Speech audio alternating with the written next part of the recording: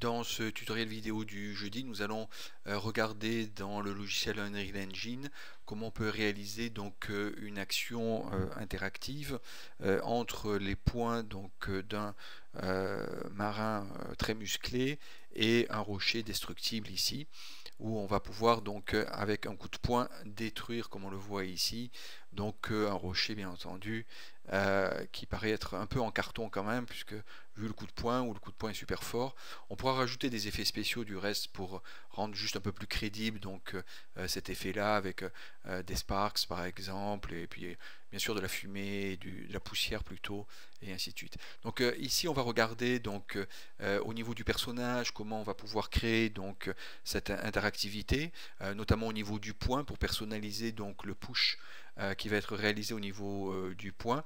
Euh, par défaut, donc Unreal Engine a une capsule sur un, caractère, donc sur un personnage, un pawn, euh, et euh, on n'a pas donc une précision au niveau, par exemple, des pieds ou des mains et des poings, et donc il faut préparer ça de telle manière qu'on ait vraiment donc l'impression que quand le personnage donne un coup de, de poing, ils, détruisent vraiment donc euh, l'impact soit sur euh, l'objet, soit pour le pousser, soit comme ici pour le détruire. Et puis on verra euh, l'objet aussi comment il peut devenir destructible ici. Donc ça c'était la simulation ici. Donc ici on a un niveau de jeu sur lequel on, on a rajouté donc euh, un rocher. On est venu euh, prendre un personnage, donc ce personnage il vient de, euh, chez Mixamo. on l'a compilé et puis on l'a surtout retargeté au niveau donc alors ici on peut le regarder rapidement mais on va pas rentrer dans ces détails là ici mais on l'a retargeté ici de telle manière qu'il fonctionne avec des animations donc de base euh, d'Unreal Engine, du, personnage donc euh, euh, humanoïde de, base, de telle manière de pouvoir récupérer éventuellement les, différentes banques de, de mouvements que l'on peut trouver, donc que l'on peut acheter donc dans le market d'Unreal Engine. Donc ça c'était une des solutions. Ou la deuxième solution avec Mixamo, c'est de récupérer les mouvements propres donc sur Mixamo donc du, personnage et de les importer bien entendu euh, dans la base d'animation donc de notre personnage. Donc ici, en fait, on a une série donc euh, d'animations. Euh, notamment, on est venu donc charger tout un ensemble de d'animations de boxing. On voit ici le, le, personnage, voilà, qui sont normalisées et qui vont permettre donc justement de pouvoir donc les utiliser à bon escient donc sur le personnage ici. Ok. Donc ici, ça c'est la partie animation euh, au niveau. Et puis on, a créé donc alors plusieurs choses.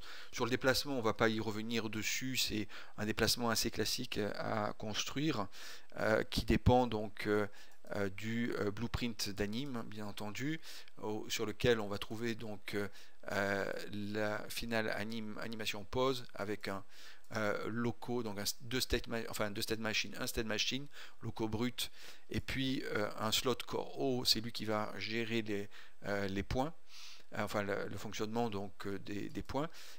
Ici, et le locaux brut assez classique avec le walk run, saut au début, il faut faire le système de saut et on pourrait rajouter d'autres connexions ici sur le state machine ici. Et l'event graph, en fait, on va pas non plus rentrer euh, en détail sur la première partie. Ok, on va rentrer donc euh, en détail juste pour montrer donc euh, la première partie est assez classique, hein, c'est avec le speed et le saut ici. Et en fait, la partie qui nous intéresse plus, elle intervient ici après le TriGate euh, Power ici. Et on va venir donc créer donc un, cast to euh, caractère BP ici. Donc il reprend donc euh, les informations donc de notre euh, personnage caractère qu'on appelait brut ici et qui va nous permettre donc de traiter le fait qu'il donne un coup de poing ou pas, punching ici, et de, de, pouvoir donc à ce moment-là faire l'action de punch que l'on a ici, punch, et qui va jouer donc l'action ici, qui est un montage, donc euh, au lieu d'avoir une action, je dirais une simple action, juste un coup de poing, une animation plutôt, on a ici un montage, une animation montage. Alors là aussi, euh, l'animation montage, c'est quelque chose de très intéressant dans euh, Unreal Engine. Hein. on le retrouve donc, enfin on les a mis dans animation, on peut le mettre où on veut, mais c'est préférable de le mettre dans animation ici. Donc animation montage, on en a créé un. Euh, pour venir donc avoir une succession de mouvements euh, que l'on a pris dans la banque donc des actions euh, pour pouvoir les, compiler, les mettre ensemble et jouer donc sur deux points d'entrée, punch 1 et punch 2 pour avoir donc des changements dans, dans, les actions. Donc tout ça bien entendu c'est dans la partie donc montage et puis ensuite blueprint donc animation blueprint euh, qu'on va retrouver euh, tout ce euh, travail-là. ici donc animation, animation blueprint, voilà. Et donc on a montage play, donc quand on fait un push, alors je rappelle juste le push ici s'enclenche, enfin on a la fonction, si bien sûr on n'a pas oublié dans project setting, et c'est la première chose qu'il faut faire, dans input ici, venir donc dans les actions mapping push et donc on met par exemple la lettre P ou right mouse button par exemple et donc on a défini cette fonction là euh, push. Donc on va la retrouver à ce moment là euh, ici comme euh, fonction qui va donc avec le bouton droit de la souris si on pense cette action là de l'utilisateur enclencher donc le montage play et lancer le montage play avec donc deux possibilités en dessous d'animation punching 1 et punching 2 que l'on a donc euh, mis en place en alternance ici. Ok, donc tout ça on, l'a déjà vu et on y reviendra dessus donc euh, au moment donc de la réalisation euh, de notre ou l'amélioration de notre personnage. Donc ici ce que l'on va voir, donc on sait que maintenant on a l'action push donc en bouton droit de la souris et ici, ok. Et cette action là donc lance l'animation de, de l'action du coup de poing seulement. Hein. Ok, donc euh, si euh, ici, hop, voilà, je fais bouton dans la souris et il se met en garde, bum, il tape, voilà ici, et euh, c'est tout pour l'instant. Donc là, on a l'animation. Donc ce qu'il faut maintenant, c'est venir dans le blue, le bout de caractère blueprint ici qu'on a créé, bien sûr. Et alors, bien entendu, on a la fonction pushing, j'ai oublié de le signaler dans qu'on a créé ici, input action push.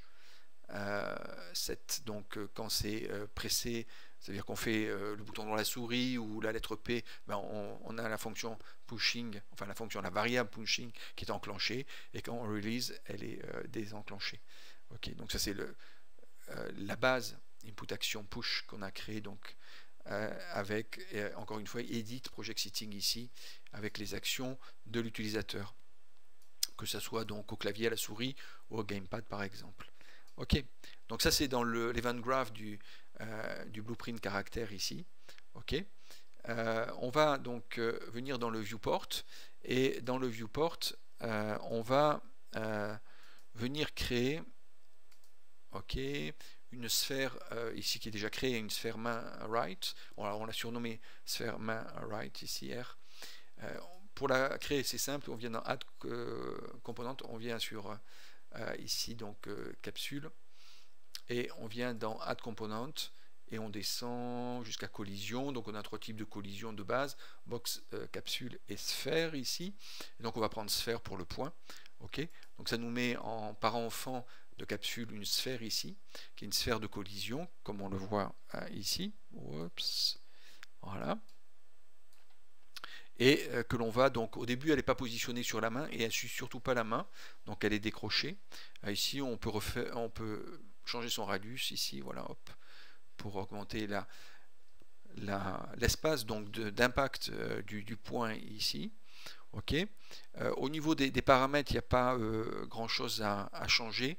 Juste collision preset block all c'est à dire que bien on a toutes les fonctions donc de des collisions ici euh, voilà pour les paramètres. Ok. Et puis on va regarder comment on le met en place euh, ici pour que ça reste accroché comme ici donc euh, au point. Donc on vient sur construction script et pas sur event graph. Event graph c'est bien sûr les événements donc pendant le, la jouabilité, enfin pendant que le jeu se fait. donc la construction script, c'est au, au, démarrage ici, sur le blueprint caractère ici. Et donc on va, on a construction script qui est tout seul au départ, ici. Et on va venir donc créer un attach to components, donc bouton droit la souris ici, attache, voilà, to component, et on, va, on prend ici attache to component donc sur la sphère voilà sphère main right ici attache to component sphère main right et donc du coup ça nous crée ce node là attache to component avec la sphère main qui, vient qui vient ici se connecter automatiquement dans le target et dans le parent on tire et on tape mesh et pour le lier au mesh donc le parent donc ici c'est le mesh euh, de telle manière de lier donc en parent-enfant ici avec la tâche de composante la sphère euh, au mesh ici. Et puis euh, on va utiliser donc la fonction socket. Donc la fonction socket, on y reviendra dessus. Ça permet aussi et surtout donc dans les jeux classiques euh, de, tir et autres, d'avoir donc euh, par exemple une arme, euh, de la mettre soit dans le dos, donc de l'accrocher le socket de l'arme donc sur les, la colonne vertébrale ou de la remettre sur la main, d'avoir une gestion donc de ces éléments socket. Donc le socket est accroché donc à un élément du, des bones, enfin du squelette. Et donc à ce moment-là, bien entendu, il faut ouvrir donc le squelette. Donc je double-clique sur le skeleton, il va s'ouvrir là, voilà.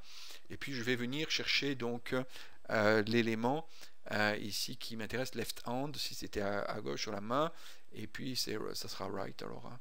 Euh, right, euh, right hand, voilà ici, ok. Je note bien le nom, je ne peux pas le copier malheureusement, et je vais venir ici, et puis il n'y a pas de liste, et je viens ici le euh, repositionner. Et donc à partir du moment où je fais ça, ici je fais snap to target pour les trois. Maintenant dans la dernière version de Unreal Engine, la location, rotation et scale sont des, ont des rules, donc des euh, des possibilités ou des fonctionnements séparés. Donc euh, on peut avoir différentes fonctions et là pour, les trois on met snap to target.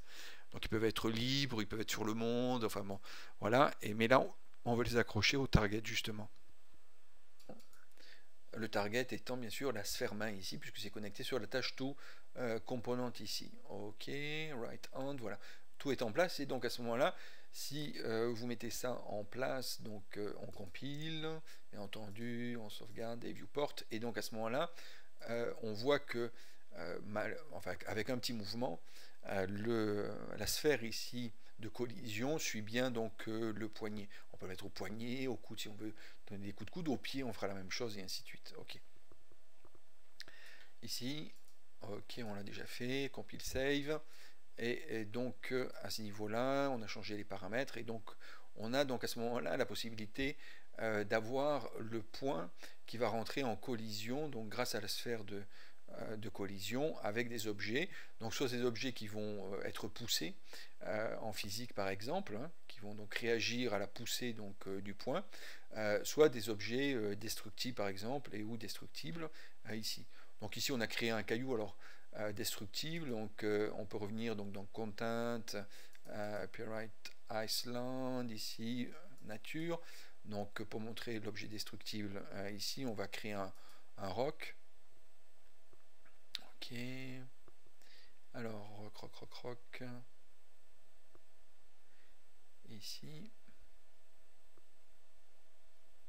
Donc on va prendre un rock par exemple. Donc on fait bouton droit la souris.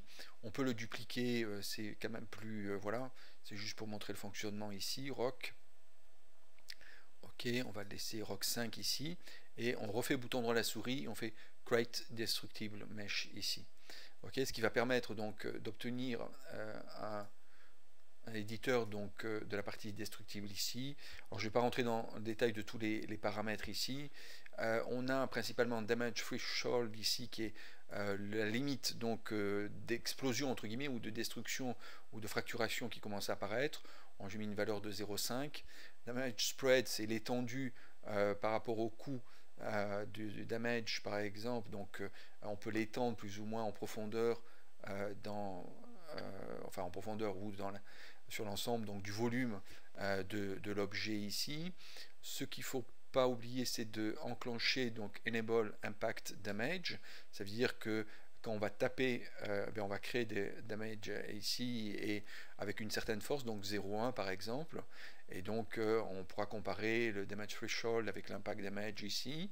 Ce qu'il faut aussi, c'est euh, accumuler donc les dommages ici, damage ici, et se mettre dans le world support ici pour l'ensemble. Alors ce que l'on peut faire, c'est tester. Donc ensuite, il faut venir fracturer le mesh. Ok, voilà, avec du Voronoi. Donc il est fracturé. Alors là, j'ai laissé par défaut ces 25 blocs. Euh, ici, on peut en mettre plus. Euh, ici, 39, on refait Voronoi, fracture mesh, voilà. Et puis on peut regarder ce que ça donne avec l'explode ici pour voir euh, ici. Donc on voit qu'à l'intérieur, donc on a bien un effet de découpe Voronoi volumétrique, hein, qu'on connaît par ailleurs, qu'on retrouvait dans Maya par exemple, euh, entre autres. Et on va pouvoir donc à ce moment-là avoir donc ces, volumes rocheuses, donc là ça nous intéresse. On pourra aussi construire en import FBX chunk les morceaux chunk ici donc euh, ça aussi c'est intéressant pour fracturer comme on veut donc euh, l'objet. Ici pour le bloc c'était pas nécessaire on pouvait utiliser Voronoi et pour terminer ici pour avoir un, une petite déco, déco plutôt sympa on va venir donc sur le matériel. Voilà sur le matériel ici Skeleton Mesh on a donc le rock qui est à l'extérieur que l'on voit, et l'intérieur, on a un world grid matériel, et donc on va reprendre le même a priori. Donc rock.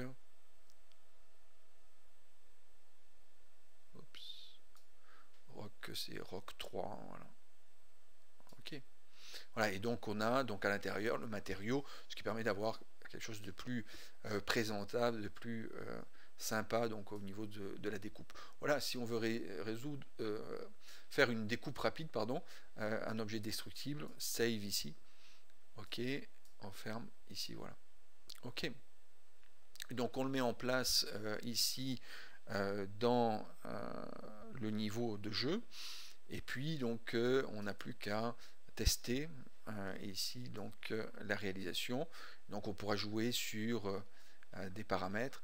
Donc un des paramètres qu'il faudra ensuite euh, gérer, c'est si on veut que le personnage euh, vienne donc on voit qu'il avance le pied en fait et euh, le pied avance aussi la capsule la capsule détruit donc aussi le, rocher. Et si on veut vraiment que ce soit que le point eh bien il faudra donc supprimer l'effet de la capsule sur donc l'interactivité avec le rocher ici ok. Voilà. Donc on voit c'est toujours le, pied ici il faudrait être plus en avant encore. Ok pour euh, montrer que c'est vraiment le coup de poing ici il faut que je reste un peu euh, en retrait.